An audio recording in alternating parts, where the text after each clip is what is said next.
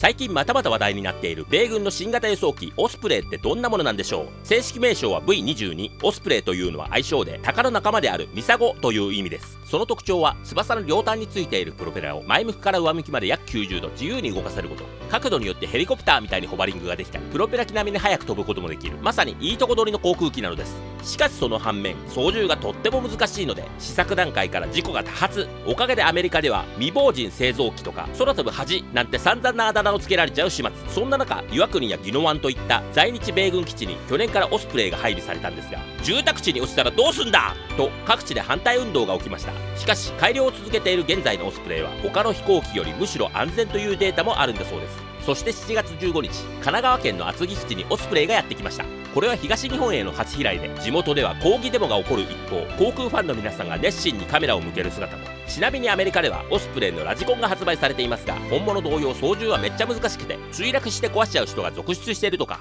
メーカーさんそこは再現しなくていいから。